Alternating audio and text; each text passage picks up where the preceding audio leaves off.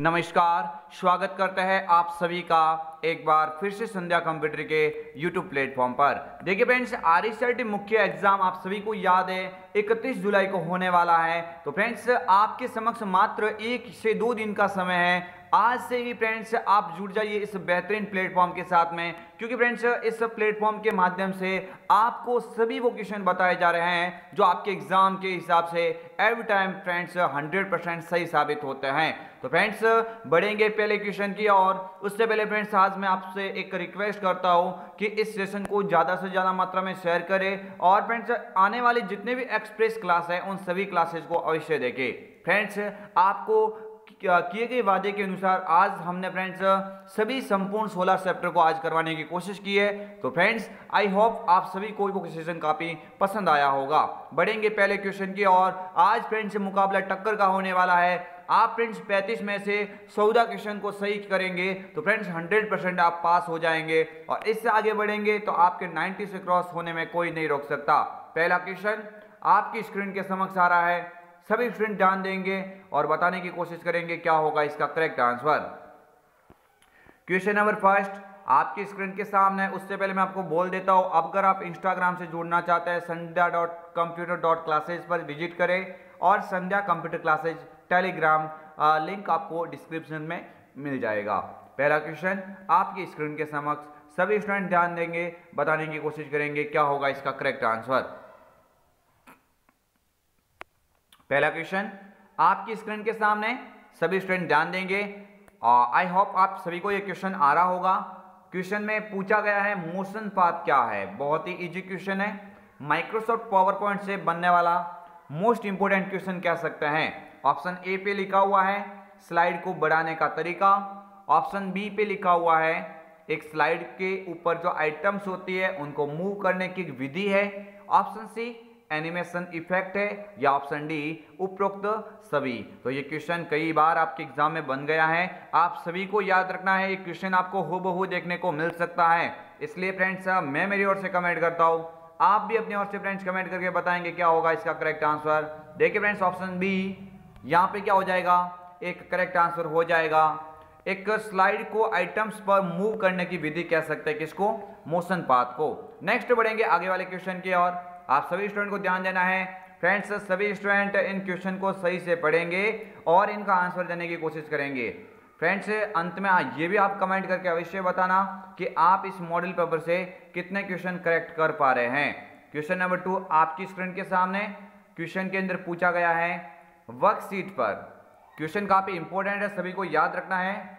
जो वर्कशीट होती है वर्कशीट में रो तथा कॉलम टाइटल को होल्ड करने हेतु ताकि जब वर्कशीट को स्क्रॉल किया जाए तो वे स्क्रॉल ना हो। निम्न में से किसका उपयोग लिया जाता है? आप सभी को लग सकता है फ्रेंड्स ये क्वेश्चन आपके सामने रिपीट हो रहे हैं। अभी फ्रेंड्स आपका रिवीजन टाइप की क्लास चल रही है। आप सभी के समक्ष वो के वो क्वेश्चन भी कोई कोई आ सकते हैं जो आपके एग्ज़ाम में बिल्कुल आपको देखने को मिलने की पूरी संभावना है। तो यहाँ पे इसकी बात हो रही है। एक्सेल के अंदर किसी रो और टाइटल को एक जगह पे होल्ड करना, ताकि जब भी आप स्क्रॉल करें, वह स्क्रॉल ना हो। Option A freeze pane command option B freeze pane unfreeze command option C split command option D इनमें से कोई नहीं। तो आप सभी को याद रखना है, इसका करेक्ट आंसर क्या हो जाएगा? फ्रीज पेंस कमांड हो जाएगा। क्या हो जाएगा? फ्रीज पेंस कमांड इसका बिल्कुल ही करेक्ट आंसर हो जाएगा। नेक्स्ट आगे वाला क्वेश्चन आप सभी की स्क्रीन के सामने है। सभी स्टूडेंट कमेंट करके बताएँगे कि इसका आंसर क्या होगा। क्वेश्चन नंबर थर्ड के अंदर क्या पूछा गया है? माइक्रोसॉफ्ट एक्सेल 2010 में चयनित सेल से एक चार्ट बनाने के लिए कीबोर्ड की किस शॉर्टकट कुंजी का प्रयोग किया जाता है? मैंने आज भी क्लास के अंदर आपको बताया था। इन क्वेश्चन को आप याद करके जाना ताकि एग्ज़ाम में ये फ्रेंड्स आपको 100 परसेंट हु देखने को मिल सकते हैं। ये फ्रेंड्स कई बार एग्ज़ाम में क्वेश्चन सीधा सीधा पूछा जा चुका है। तो आप, क्या क्वेश्चन क्या है?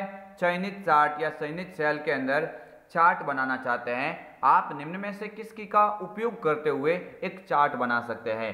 तो ऑप्शन ए पे लिखा हुआ है एफ़ थ्री ऑप्शन बी पे लिखा हुआ है एफ़ इलेवन ऑप्शन सी पे लिखा हुआ है एफ़ फाइव और ऑप्शन डी पे लिखा हुआ है एफ़ सेवन तो आप सभी को याद रखना है, इसका जो करेक्ट आंसर क्या हो जाएगा? F11 हो जाएगा। F11 से क्या होता है? ये मेरे फ्रेंड्स न्यू चार्ट बनाने की शॉर्टकट कीजिए। क्या होती है? न्यू चार्ट बनाने के लिए आप F11 कीज होती है, इसका उपयोग कर सकते हैं। F3 ये मेरे फ्रेंड्स आपको याद रखना है, जो सर्च बॉक्स होता है सर्च मेन्यू होता है, इस सर्च मेन्यू को आप इसके द्वारा ओपन कर सकते हैं। तो ये इसका हो जाएगा। एफ़ फाइव एफ़ फाइव आप सभी को याद होगा। रिफ्रेश करने के लिए इसका इस्तेमाल किया जा सकता है और पावर पॉइंट में स्लाइड शो करने के लिए भी किया जा सकता है। ये जो एफ़ सेवन होता है, ये आप सभी को ऑलरेडी मेरे ख्याल से आता होगा, जो स्पेलिंग जो एरर होती है स्पेलिंग एरर होती है, उसको देखने के लिए एफ़ सेवन का उपयोग किया जाता है। आई होप आप सभी को इन कीज के बारे में समझ में आया होगा। ये क्वेश्चन सभी के सभी इंपॉर्टेंट आपके एग्ज़ाम के लिए हो सकते हैं। आगे वाला क्वेश्चन आप सभी की स्क्रीन के सामने क्वेश्चन नंबर फोर बताने की कोशिश करेंगे मेरे फ्रेंड्स क्या होगा इसका करेक्ट आंसर देखिए फ्रेंड्स ऑप्शन क्वेश्चन के अंदर क्या पूछा गया है? खाली जगह नेटवर्क या इंटरनेट के माध्यम से आपके कंप्यूटर तक पहुँच प्राप्त करने के लिए हैकर्स या दुर्भावनापूर्ण सॉफ्टवेयर को रोकने में कौन मदद कर सकता है? ये फ्रेंड्स, जो कंप्यूटर साइबर सुरक्षा है, कंप्यूटर साइबर सुरक्षा वाले टॉपिक से क्वेश्चन उठाया गया है। आप सभी को याद रखना है, ये क्वेश्चन आपके एग्ज़ाम में बिल्कुल देखने को मिल सकता है। तो इस क्वेश्चन का आंसर क्या होगा? सभी स्टूडेंट बताने की कोशिश करेंगे। यहाँ पे बिल्कुल ऑप्शन ए पे लिखा हुआ फायरवॉल ऑप्शन बी पे लिखा हुआ एंटीवायरस ऑप्शन सी पे लिखा हुआ है कंट्रोल पैनल ऑप्शन डी पे लिखा हुआ है इनमें से कोई नहीं।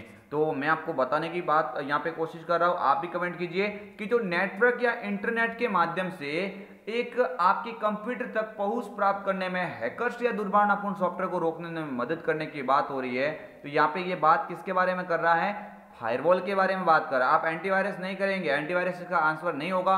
ऑप्शन ए है, ये इसका क्या हो जाएगा? फायरवॉल करेक्ट आंसर हो जाएगा। नेक्स्ट आई होप आप सभी को ये क्वेश्चन समझ में आ रहे होंगे। फ्रेंड्स अगर आपको सेशन पसंद आ रहा है तो आप इस वीडियो को लाइक करें और ज़्यादा से ज़्यादा फ्रेंड्स अपने जो फ्रेंड सर्कल है, उनके बीच में इस वीडियो को अवश्य शेयर करें, ताकि फ्रेंड्स उन स्टूडेंट तक भी ये वीडियो पहुँच सके, उनको भी फ्रेंड्स इस एग्ज़ाम के बेस पे उनको हेल्प मिल सके। एम एस वर्ड दो हज़ार दस में फॉर्मेट पेंटर का उपयोग करके विशिष्ट पाठ के प्रारूप की प्रतिलिपि बनाना चाहते हैं तो किस शॉर्टकट कीज का उपयोग करेंगे? यानी इस फॉर्मेट पेंटर है, इस फॉर्मेट पेंटर की शॉर्टकट कीज की बात हो रही है। तो जो फॉर्मेट पेंटर होता है, इसकी शॉर्टकट कीज क्या होती है, वो आपसे इस क्वेश्चन के अंदर पूछा गया है टोटली देखे तो। तो देखिए ऑप्शन ए पे लिखा हुआ कंट्रोल शिफ्ट के साथ में C option B control alt के साथ में सी कंट्रोल अल्ट के साथ में एफ़ या कोई नहीं। तो आप सभी को याद रखना है, मेरे फ्रेंड्स इसका करेक्ट आंसर क्या हो जाएगा? कंट्रोल शिफ्ट के साथ में सी हो जाएगा। ऑप्शन ए पे लिखा हुआ है, बिल्कुल इसका क्या हो जाएगा? राइट आंसर हो जाएगा। आगे वाला क्वेश्चन आप सभी की स्क्रीन के सामने क्वेश्चन नंबर सिक्स के अंदर पूछा गया है विंडोज़ टेन पर फ़ाइल अथवा फोल्डर को लॉक करने में कौन सी एप्लीकेशन मदद कर सकती है? आपको याद रखना है कि विंडोज़ 10 होता है। विंडोज़ 10 में अगर फ़ाइल अथवा फोल्डर को आप लॉक करना चाहते हैं तो कौन सी एप्लीकेशन मदद कर सकती है? ऑप्शन ए पे लिखा हुआ है Windows Defender option B Cortana option C folder lock option D उपरोक्त सभी। तो मैंने कई बार इस क्वेश्चन को क्लास के अंदर भी बताया था। आप सभी स्टूडेंट को याद रखना है। इसका करेक्ट आंसर क्या हो जाएगा? फोल्डर लॉक हो जाएगा। ये क्वेश्चन वो हैं जो फ्रेंड्स आपके एग्ज़ाम में बिल्कुल ही देखने को मिल सकते हैं। हर बार फ्रेंड्स मोस्ट इंपोर्टेंट क्वेश्चन की श्रेणी में जो क्वेश्चन आ रहे हैं, उन सभी को आज मैंने इस मॉडल पेपर या इस क्लास के अंदर समाहित करने की कोशिश की है। आप सभी को याद रखना है, इन क्वेश्चन को आप इग्नोर नहीं करेंगे। ये क्वेश्चन आपको एग्ज़ाम के अंदर अच्छे मार्क्स लाने में काफ़ी ज़्यादा मदद करेंगे। क्वेश्चन नंबर सेवन आपकी स्क्रीन के सामने है। क्वेश्चन नंबर सेवन के अंदर क्या पूछा गया है? सभी स्टूडेंट इस क्वेश्चन को आराम से पढ़ेंगे और सही सोच समझ के आंसर देने की कोशिश करेंगे। क्वेश्चन नंबर सेवन जब कोई यूज़र खाली जगह पर माउस ले जाता है तो वह हैंड के आकार का हो जाता है। यानी आपके सामने सीधा सा यहाँ पे पूछा गया है कि निम्न में से जो विकल्प दे रखा है हाइपरलिंक बुकमार्क क्रॉस रेफरेंस या ड्रॉप कैप इनमें से ऐसा कौन सा विकल्प है जो फ्रेंड्स क्या करता है? उसके ऊपर अगर माउस ले जाता है तो वो हैंड के आकार का हो जाता है। हैंड के आकार का मीन्स इस तरह से आपको जो इसका आकार माउस पॉइंटर का इस तरह से बदल जाता है। ये फ्रेंड्स किसके बारे में बात हो रही है? तो आप सभी को याद रखना है, जब भी किसी डॉक्यूमेंट के साथ में अन्य डॉक्यूमेंट को लिंक किया जाता है। तो लिंक करने के बाद में हाइपरलिंक जैसे वहाँ पे लागू हो जाता है तो हाइपरलिंक को खोलने के लिए आप लिंक को खोलने के लिए जब माउस पॉइंटर उसके ऊपर लेके जाएँगे तो माउस का पॉइंटर किस आकार में बदल जाएगा? हैंड के आकार में बदल जाता है। Bookmark cross reference hyperlink drop cap ये सभी के सभी आपको कहाँ पे दिखाई देंगे? इंसर्ट मेन्यू के अंदर दिखाई देते हैं। कहाँ पे दिखाई देते हैं? ये सभी किसके पार्ट होते हैं? इंसर्ट मेन्यू के पार्ट्स होते हैं। तो फ्रेंड्स इसका करेक्ट आंसर क्या हो जाएगा? हाइपर लिंक हो जाएगा। क्वेश्चन नंबर एट आपकी स्क्रीन के सामने है। सभी स्टूडेंट क्वेश्चन को ध्यान से पढ़ेंगे और आंसर देने की कोशिश करेंगे। क्या होगा क्वेश्चन का answer question number eight ISP का पूरा नाम। फ्रेंड्स कई बार मैंने क्लास के अंदर बोला था, ये फुल फॉर्म आपके एग्ज़ाम में कई बार पूछी जा चुकी है। यहाँ पे पूछा गया है आईएसपी का पूरा नाम। ऑप्शन ए पे लिखा हुआ है, internet service provider. Option B पे लिखा हुआ है, international service provider. Option C पे लिखा हुआ है, इंटरनेशनल सिक्योरिटी प्रोवाइडर। तो फ्रेंड्स, क्या होगा इसमें से करेक्ट आंसर? आप सभी को याद रखना है, कमेंट करने की कोशिश करेंगे मेरे फ्रेंड्स।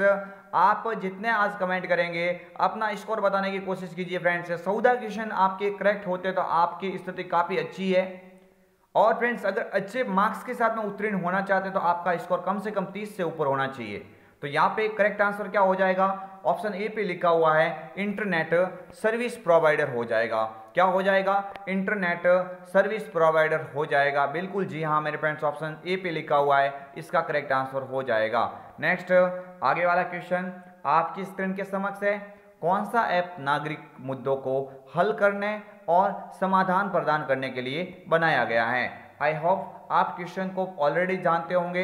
ये क्वेश्चन आपके एग्ज़ाम की दृष्टि से काफ़ी ही महत्वपूर्ण है। तो इसका आंसर क्या होगा? बताइए कमेंट कीजिए। ऑप्शन ए पे लिखा हुआ है बामासा ऑप्शन बी पे लिखा हुआ ई पीडीएस ऑप्शन सी पे लिखा हुआ राजसंपर्क और ऑप्शन डी पे लिखा हुआ ई मित्रा तो देखिए जो नागरिकों के मुद्दों को हल करने के लिए राजस्थान सरकार द्वारा चलाया गया एक समाधान के लिए ऐप कौन सा है? राज संपर्क है। इस राज संपर्क के ऊपर अगर आप शिकायत दर्ज करना चाहते हैं तो आप one eight one helpline number का उपयोग भी कर सकते हैं। मेरे फ्रेंड्स, इसका करेक्ट आंसर हो जाएगा, ऑप्शन सी, राज संपर्क हो जाएगा। नेक्स्ट, बढ़ते हैं आगे वाले क्वेश्चन की ओर। सभी स्टूडेंट क्वेश्चन को ध्यान से पढ़ेंगे, आंसर देने की कोशिश करेंगे। आप सभी को याद रखना है, आप अपने हिसाब से ऐसे जल्दबाजी में कोई अपने आप ऐसे कोई गलत आंसर नहीं देंगे। पहले क्वेश्चन को सही से पढ़ेंगे और एग्ज़ाम में भी फ्रेंड्स आपका मेन टारगेट होना चाहिए क्वेश्चन को ध्यानपूर्वक समझे और बाद में उसका आंसर देने की कोशिश करें। पैराग्राफ की प्रत्येक लाइन को लेफ़्ट और राइट मार्जिन के मध्य अलाइन करता है। जो पैराग्राफ होता है मेरे फ्रेंड्स इस पैराग्राफ के अंदर प्रत्येक लाइन को राइट और लेफ़्ट दोनों साइड से सेम फ्रेंड्स मार्जिन देके अलाइनमेंट कौन सा फ्रेंड्स ऐसा हो जाएगा, जो दोनों साइड के मध्य में अलाइन करेगा। तो मैंने कई बार बोला हुआ है करेक्ट आंसर जस्टिफाई हो जाएगा। इस जस्टिफाई की शॉर्टकट की क्या होती है? कंट्रोल के साथ में जे होती है। इस सेंटर की क्या होती है? कंट्रोल के साथ में क्या होती है? ई e होती है। क्या होती है? कंट्रोल ई e किसकी होती है? सेंटर की होती है। अलाइन टेक्स्ट फ्रेंड्स लेफ़्ट की कंट्रोल एल होती है। अलाइन टेक्स्ट राइट की कंट्रोल आर होती है। यहाँ पे क्या पूछा गया? लेफ़्ट और राइट दोनों साइड से सेम मार्जिन देके टेक्स्ट को मध्य में लाना जस्टिफाई की बात हो रही है। इसकी शॉर्टकट कीज कंट्रोल के साथ में जे हो जाएगी। ऑप्शन बी यहाँ पे बिल्कुल फ्रेंड्स करेक्ट आंसर हो जाएगा।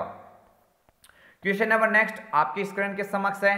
सभी स्टूडेंट क्वेश्चन को ध्यान से पढ़ेंगे और बताने की कोशिश करेंगे, इसका आंसर क्या होगा? जिन फाइलों और फोल्डरों को आप हटाना चाहते हैं, उसके लिए अस्थायी भंडारण कौन सा फोल्डर प्रदान करता है? बहुत ही इजी क्वेश्चन है बट आपके एग्ज़ाम की दृष्टि से काफ़ी महत्वपूर्ण क्वेश्चन है। किसी भी कॉम्पिटेटिव एग्ज़ाम को देते हो तो ये क्वेश्चन आपके समक्ष कहीं ना कहीं आपको देखने को अवश्य मिला होगा। या फ्रेंड्स जितने भी एग्ज़ाम आने वाले हैं, उन सभी के लिए फ्रेंड्स ये क्वेश्चन कह सकते हैं, काफ़ी ही महत्वपूर्ण है। जिन फाइलों और फोल्डरों को आप कंप्यूटर से हटाना चाहते हैं तो उसके लिए ऐसे फ्रेंड्स कौन से विकल्प है जहाँ पे आपके द्वारा हटाई गई फाइलों को वो अस्थायी रूप से उसके अंदर भंडारण करके रखेगा? तो आपके समक्ष ऑप्शन है कैलकुलेटर डस्टबिन रिसाइकल बिन या न्यू फोल्डर तो करेक्ट आंसर ऑप्शन सी पे लिखा हुआ है रिसाइकल बिन हो जाएगा। अगर आप कंप्यूटर के अंदर कुछ फ़ाइल डिलीट करते हो, लेकिन किसके साथ करते हो? शिफ्ट के साथ में। तो शिफ्ट के साथ में डिलीट करने पे वो फ़ाइल क्या होती है? परमानेंटली डिलीट हो जाती है। रिसाइकल बिन में आपको वो फ़ाइल नहीं मिलेगी। आगे वाला क्वेश्चन, आपकी स्क्रीन के समक्ष सभी स्टूडेंट ध्यान देंगे, बताने की कोशिश करेंगे, क्वेश्चन का आंसर क्या होगा? क्वेश्चन नंबर ट्वेल्व, निम्न में से एंटीवायरस का उदाहरण नहीं है। आज मैंने क्वेश्चन वो सभी लिए हैं, जो काफ़ी स्तर के भी है, हाई लेवल के भी है और एकदम मीडियम से लो लेवल के भी है। लेकिन हमारा उद्देश्य तो ये होना चाहिए कि आपके एग्ज़ाम के रिलेटिव कौन से क्वेश्चन इंपॉर्टेंट है, चाहे वो टफ हो इजी हो या मिडिल स्तर का हो, उन सभी को याद करते हुए जाना है ताकि फ्रेंड्स आपको कोई एग्ज़ाम में डाउट ना हो। निम्न में से एंटीवायरस का उदाहरण नहीं है। Norton Quick Heal Norton Netscape navigator, Kaspersky या क्विक हिल तो यहाँ पे क्या पूछा गया? इनमें से कौन सा एक एंटीवायरस का उदाहरण नहीं है? तो देखिए नॉटन होता है, कैस्पर स्काई होता है क्विक हिल भी होता है, लेकिन जो नेट स्केप नेविगेटर लिखा हुआ ना, ये तो वेब ब्राउज़र का उदाहरण है। ये क्या कहलाएगा? वेब ब्राउज़र कहलाएगा। ये कोई एंटीवायरस का उदाहरण नहीं है। इसका करेक्ट आंसर मेरे फ्रेंड्स ऑप्शन बी पे लिखा हुआ है। ये क्या हो जाएगा इसका? राइट right आंसर हो जाएगा। नेक्स्ट आगे वाला क्वेश्चन आप सभी की स्क्रीन के समक्ष है। बताने की कोशिश कीजिए। क्वेश्चन नंबर तेरह, इसका आंसर क्या होगा? डेटा पॉइंट की वास्तविक वैल्यू क्या कहलाती है? जो डेटा पॉइंट की वास्तविक वैल्यू होती है फ्रेंड्स वास्तविक वैल्यू जो रियल वैल्यू होती है, उसको क्या कहा जाता है? Grid line data labels value axis या डेटा सीरीज़ ये क्वेश्चन आप अंडरलाइन कर दीजिए मेरे फ्रेंड्स या तो क्वेश्चन बनेगा किसका? ग्रिड लाइन का। या फिर क्वेश्चन किसका बन सकता है? डेटा लेबल का। इन दोनों को याद रखना है। साठ एलिमेंट में दिखने वाली जो हॉरिजेंटली जो लाइनें होती है, उन हॉरिजेंटली लाइनों को क्या कहा जाता है? ग्रिड लाइन लेकिन इसके अंदर क्या पूछा गया है? डेटा पॉइंट की अगर वास्तविक वैल्यू पूछे तो डेटा पॉइंट की वास्तविक वैल्यू फ्रेंड्स क्या कहलाएगी? डेटा लेबल्स कहलाएगी। क्या कहलाएगी? डेटा लेबल्स कहलाएगी। ये दोनों आप याद रखेंगे, इसका करेक्ट आंसर क्या हो जाएगा? ऑप्शन जो बी पे लिखा हुआ है डेटा लेबल्स हो जाएगा। बट ग्रिड लाइन भी आपको याद रखना है एग्ज़ाम में इन दोनों में से मुझे लग रहा है, अब की बार एक एक क्वेश्चन आपको यहाँ से अवश्य देखने को मिल सकता है। आगे वाला क्वेश्चन आप सभी की स्क्रीन के सामने। क्वेश्चन काफ़ी ही इजी है। फ्रेंड्स कई बार मैंने ये मॉडल पेपर के अंदर डाला है, लेकिन अंतिम दिनों की तैयारी होती है सब पर भारी। वो फ्रेंड्स बात आपको याद रखनी है कि आपने पहले क्वेश्चन भले ही पढ़ा है बट एग्ज़ाम के लिए मात्र एक दिन का आपके पास में समय है तो आज वो भी क्वेश्चन हम लेंगे और जितने भी मॉडल पेपर होंगे, उनके अंदर वो क्वेश्चन सभी के सभी वापस रिपीट करने की कोशिश करेंगे, जो हमने पहले ऑलरेडी बता दिए है। बाई तरफ़ के किसी अकेले अक्षर को मिटाने के लिए कौन सी कुंजी का उपयोग किया जाता है? बाई ओर से मिटाना चाहते हैं और दाई ओर से मिटाना चाहते हैं। जब दाई ओर से मिटाने की बात करें तो तो आप क्या करेंगे? डिलीट करेंगे। लेकिन यहाँ पे किसकी ओर से हुई है? बाई ओर से। तो बाई ओर से आप याद रखना क्या हो जाएगा? बैक स्पेस हो जाएगा। ऑप्शन जो ए पे लिखा हुआ है बैक स्पेस इसका क्या हो जाएगा?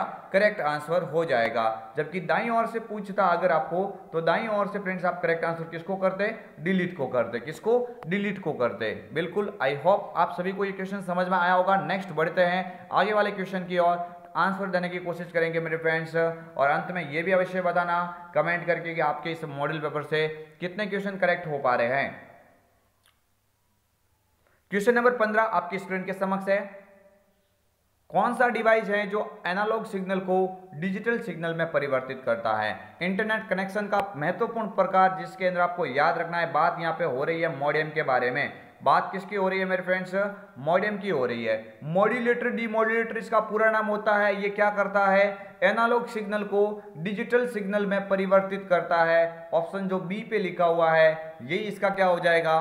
करेक्ट आंसर डीएसएल एक केबल का प्रकार होता है, ये भी इंटरनेट कनेक्शन के अंदर आता है। डिजिटल सब्सक्राइबर लाइन इसका क्या होता है? पूरा नाम होता है। आईएसपी इंटरनेट सर्विस प्रोवाइडर जिसके माध्यम से इंटरनेट की सेवा प्रदान कर रहे हैं, वो आईएसपी यानी इंटरनेट सर्विस प्रोवाइडर कहलाता है। वाईफाई बिना वायर के माध्यम से नेटवर्क के अंदर आप स्थापना करना चाहते हैं इंटरनेट की तो आप किसका उपयोग करेंगे? वाईफाई यानी वायरलेस फिडिलिटी इसका क्या होता है? पूरा नाम होता है। आगे वाला क्वेश्चन आप सभी के स्क्रीन के समक्ष है, बताने की कोशिश करेंगे। आई होप आप क्वेश्चन ये ऑलरेडी जानते होंगे तो कमेंट करके बताएँगे इसका आंसर क्या होगा। कौन सी मेमोरी में डेटा को बिजली जाने के सिग्नल से मिटाया जा सकता है? यानी क्वेश्चन को थोड़ा ध्यान से समझते हैं। क्वेश्चन को कई बार एग्ज़ाम में अंदर पूछा गया है इसके द्वारा कि सोलवा क्वेश्चन के अंदर क्या पूछा गया है? कौन सी मेमोरी के डेटा को बिजली के सिग्नल से मिटाया जा सकता है?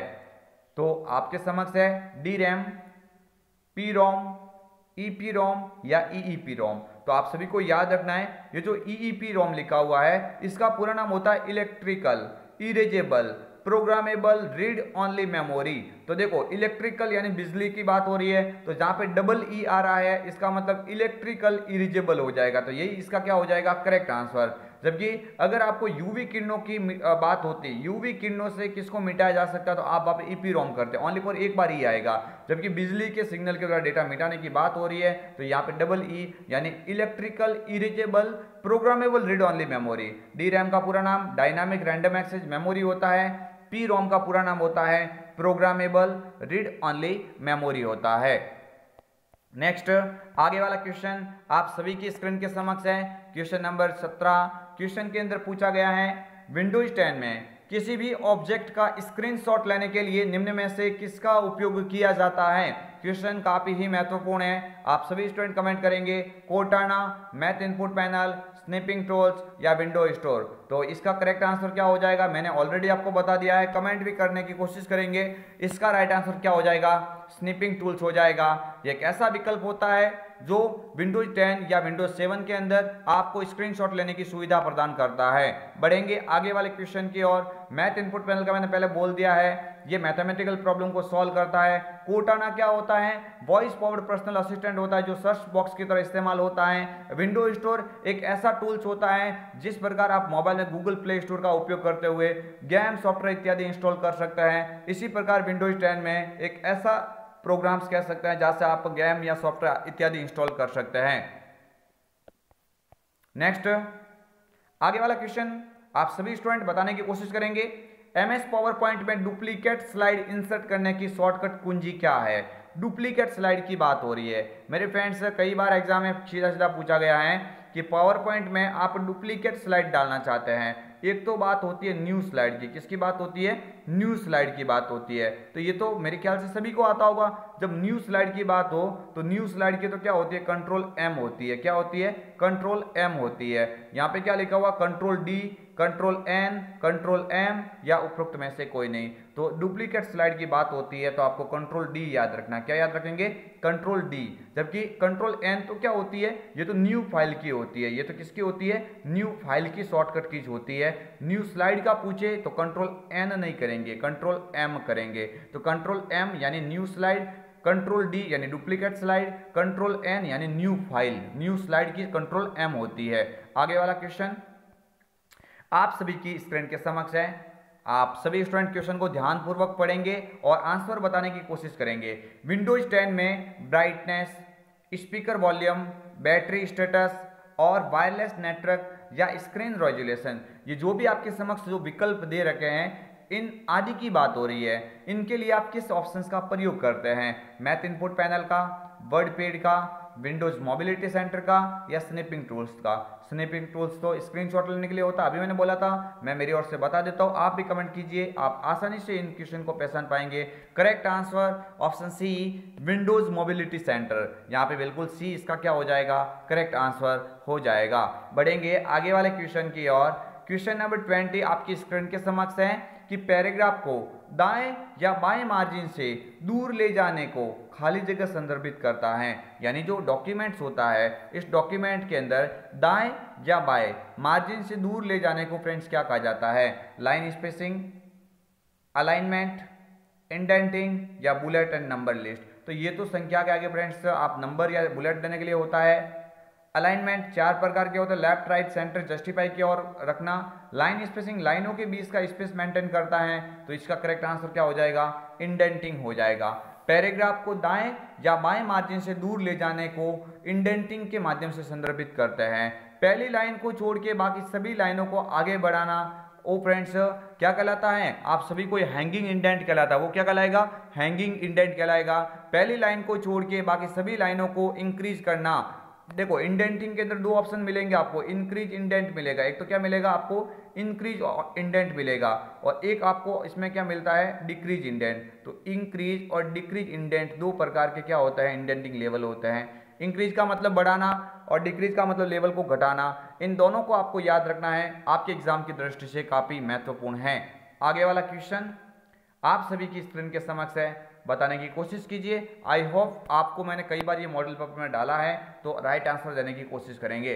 निम्न में से कौन सा ऑपरेटिंग सिस्टम मल्टीटास्किंग को वास्तव में लागू नहीं करता है? मल्टीटास्किंग यानी एक ही समय में बहुत सारा कार्य कौन से विंडोज़ के अंदर नहीं किया जा सकता? Windows 98 Windows NT M S DOS या विंडोज़ एक्सपी तो मैंने कई बार बोला हुआ है कि ये जो एम एस डॉस होता है, ये ऐसा ऑपरेटिंग सिस्टम होता है जो मल्टीटास्किंग को वास्तव में लागू नहीं करता है। ऑप्शन सी पे लिखा हुआ है M S DOS Microsoft disk operating system इसका क्या होता है? पूरा नाम होता है। आगे वाला क्वेश्चन, आप सभी की स्क्रीन के समक्ष है, निम्न में से हैंड हेल्ड डिवाइस के प्रकार नहीं है। नहीं है पूछा गया है, आपको भी याद रखना है कि निम्न में से ऐसा कौन सा विकल्प है जो हैंड हेल्ड डिवाइस की श्रेणी में नहीं आता है? फीचर्स फ़ोन स्मार्टफ़ोन टैबलेट ये आप सभी अपने हथेली में रखते हुए आसानी से इसको यूज़ कर सकते हैं, जबकि लैपटॉप होता है, ये लैपटॉप आप सभी को याद रखना है हैंड हेल्ड की श्रेणी में नहीं आएगा, क्योंकि फ्रेंड्स लैपटॉप डिवाइस बड़ा होता है और फ्रेंड्स एक ही हाथ के द्वारा आप आसानी से इस्तेमाल नहीं कर सकते। अपने हथेली के ऊपर रखते हुए जो आप इस्तेमाल करते हो फ़ोन हो गया स्मार्टफ़ोन हो गया टैबलेट हो गया फीचर फ़ोन जो भी आपके समक्ष ऑप्शन है, इन सभी को आप हैंड हेल्ड डिवाइस की श्रेणी में रखेंगे। आगे वाला क्वेश्चन आप सभी की स्क्रीन के समक्ष है। क्वेश्चन नंबर 23 और पूछा जा रहा है, हॉटस्पॉट के लिए किस कनेक्टिविटी की आवश्यकता होती है? ऑप्शन ए वाईफाई की। ऑप्शन बी, ब्लूटूथ की, ऑप्शन सी, इंफ्रारेड की। तो आई होप आप सभी रोज़ाना इसका इस्तेमाल करते होंगे। आप सभी को याद रखना है कि हॉटस्पॉट के लिए दूसरे मोबाइल में किसकी कनेक्टिविटी की आवश्यकता होगी? वाईफाई। यानी एक डिवाइस के माध्यम से अगर आप हॉटस्पॉट शुरू करते हैं तो दूसरे के अंदर इसका इंटरनेट लाभ लेने के लिए इसमें वाईफाई का इस्तेमाल करना पड़ेगा। ऑप्शन ए, यहाँ से क्या हो जाएगा? करेक्ट आंसर हो जाएगा। बढ़ेंगे आगे वाले क्वेश्चन की ओर। जीपीएस का पूरा नाम बताइए। देखिए फ्रेंड्स आज मैंने सभी क्वेश्चन इसमें इंपॉर्टेंट शामिल किए हैं। आपके एग्ज़ाम के लिए मात्र एक से दो दिन का टाइम है। तो फ्रेंड्स अब भी फ्रेंड्स आप नए हैं तो आप आज से इस चैनल के साथ में जुड़ जाइए। जितने भी पाँच से छः दस, बारह जो भी मॉडल पेपर आपको करवाए हैं, उनको देखें और आने वाले क्लास को ओनली फॉर एक दिन के लिए देख ले। निश्चित ही दावा करते हैं, अच्छे मार्क्स के साथ में आप उत्तीर्ण होंगे। जीपीएस का पूरा नाम बताइए। देखिए जियोग्राफिकल इंफॉर्मे जियोग्राफिकल देखिए क्या लिखा हुआ जियोग्राफिकल पेनिस्ट्रेशन सिस्टम नहीं ग्लोबल पोजिशनिंग सिस्टम तो जीपीएस का पूछा गया है तो यहाँ पे जियोग्राफिकल नहीं बोलेंगे जियोग्राफिकल तो आपको याद रखना जीआईएस का पूरा नाम, में जी का आता है, यानी जीआईएस का पूरा नाम पूछे तो जियोग्राफिकल इंफॉर्मेशन सिस्टम बोलते हैं, यहाँ पे तो क्या लिखा हुआ है जीपीएस तो यहाँ पे क्या हो जाएगा global positioning system option B पे लिखा हुआ है, इसका क्या हो जाएगा, पूरा नाम हो जाएगा। नेक्स्ट बढ़ते हैं आगे वाले क्वेश्चन की ओर। आप सभी की स्क्रीन के समक्ष है पी एन आर स्थिति ट्रैकिंग से क्या अर्थ है? हालाँकि ये आपको क्वेश्चन आ रहा होगा, आप समझ रहे होंगे ये क्वेश्चन हमें आ रहे, वापस क्यों करवा रहे? बट अभी हमारा टारगेट ये है कि आपको एग्ज़ाम में वो क्वेश्चन सभी के सभी एकदम मुख जबान याद करवाना जो आपके एग्ज़ाम के लिए बन सकते हैं। इसलिए अब आप ये माइंड से निकाल दीजिए कि ये क्वेश्चन वापस आ गया है। अभी तो आपको इतना याद रखना कि ये जो क्वेश्चन वापस आ रहे हैं ना, वो आपके एग्ज़ाम के लिए काफ़ी ही महत्वपूर्ण है। इसलिए हम उनको रिपीट कर रहे हैं। पीएनआर स्थिति ट्रैकिंग से क्या आशय है? आप सभी को याद रखना है, आधार कार्ड की स्थिति लगाने, पता लगाने के लिए नहीं। सेकंड पैन कार्ड की स्थिति का पता लगाने के लिए इस्तेमाल किया जाता है, ये भी नहीं होगा। तो आपको याद रखना है कि टिकट की स्थिति, चाहे आईआरसीटीसी की हो या आरएसआरटीसी की हो तो आप सभी को याद रखना है कि जो टिकट होता है, रेलवे टिकट, उन रेलवे टिकट की इंक्वायरी के लिए आपके, आपको जो एक नंबर दिया जाता है, उनको क्या कहा जाएगा? पैसेंजर नेम रिकॉर्ड कहा जाएगा। क्या कहा जाएगा? पैसेंजर नेम रिकॉर्ड कहा जाएगा। पैसेंजर नेम रिकॉर्ड, ये क्या करता है? टिकट की स्थिति पता लगाने के लिए इसका इस्तेमाल किया जाता है।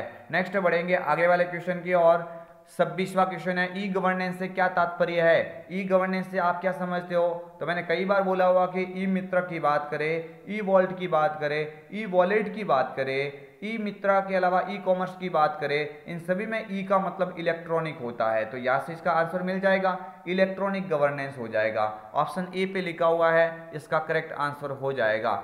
नेक्स्ट बढ़ते हैं आगे वाले क्वेश्चन की ओर 27 देखिए फ्रेंड्स, काफ़ी सारे स्टूडेंट हमारे साथ रेगुलर जुड़ते हैं मुझे अभी फ्रेंड्स उम्मीद लग रही है कि आप लोगों में से काफ़ी सारे स्टूडेंट हैं जो 90 से क्रॉस करेंगे। तो फ्रेंड्स, आप हमारे विश्वास के ऊपर खरा उतरना। हम फ्रेंड्स, आपके लिए वो सारे क्वेश्चन और भी फ्रेंड्स, जितने भी मॉडल पेपर या फिर जितने भी हम आपके समक्ष वीडियो पेश करेंगे, उन सभी में फ्रेंड्स एक भी क्वेश्चन ऐसा नहीं रखना चाहते हैं जो आपके एग्ज़ाम में दिखे। तो आप सभी को याद रखना है कि सभी क्वेश्चन वो आ जाएँगे जो हमारे क्लास के माध्यम से आपको बताए जा रहे हैं। आप इन क्वेश्चन को अच्छे से थोड़ा याद रखने की कोशिश करना।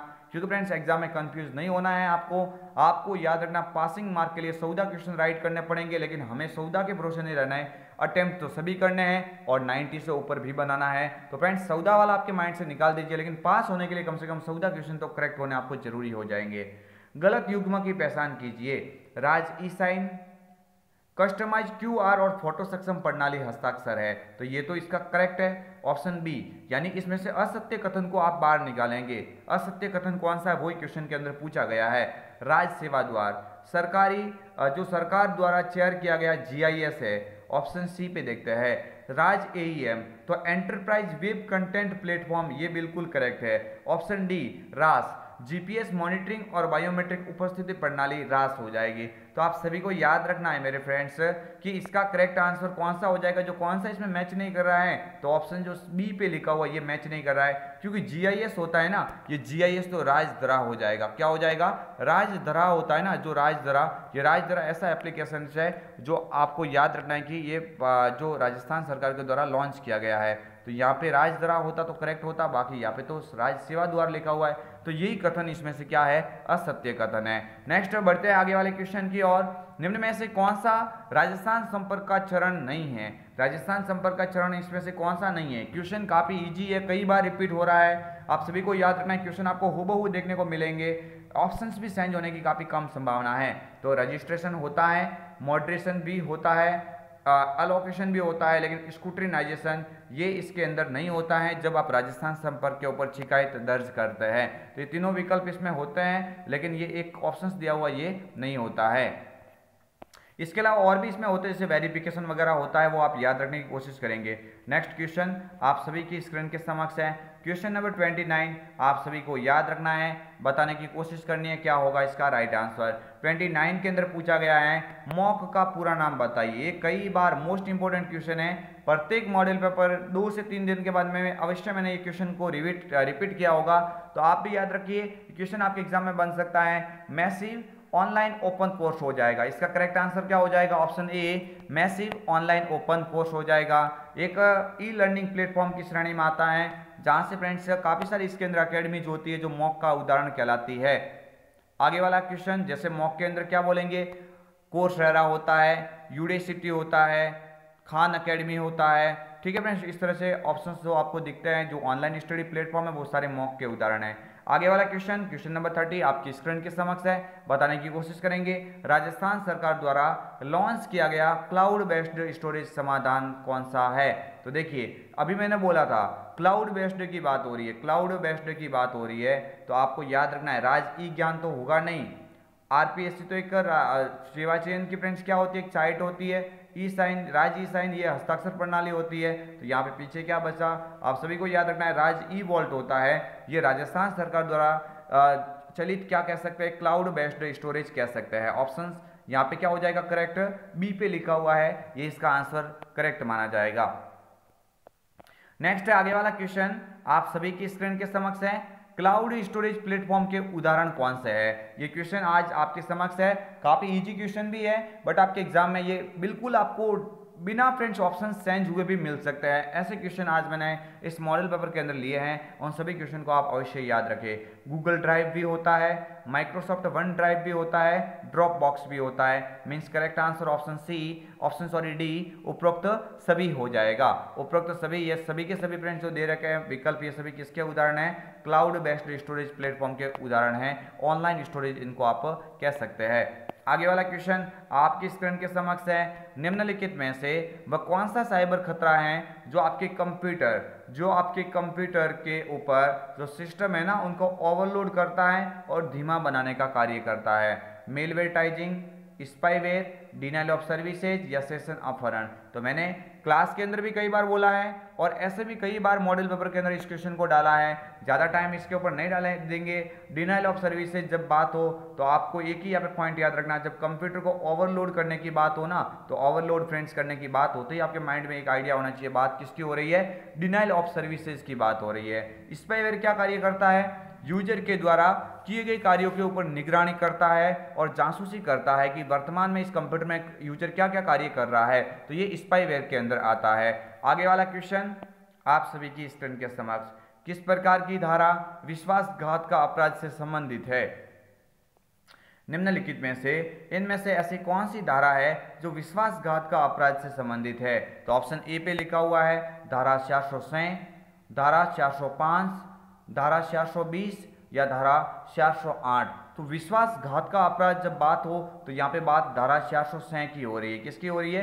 406 की हो रही है। और जब बोगस या साइबर धोखाधड़ी की बात हो, बोगस वेबसाइट, साइबर धोखाधड़ी, ये जब भी आपको नाम दिखे तो आप क्या करेंगे? धारा 420 करेंगे। तो ये क्वेश्चन आपके एग्ज़ाम की दृष्टि से दोनों के दोनों मैंने बताया ये इंपॉर्टेंट है।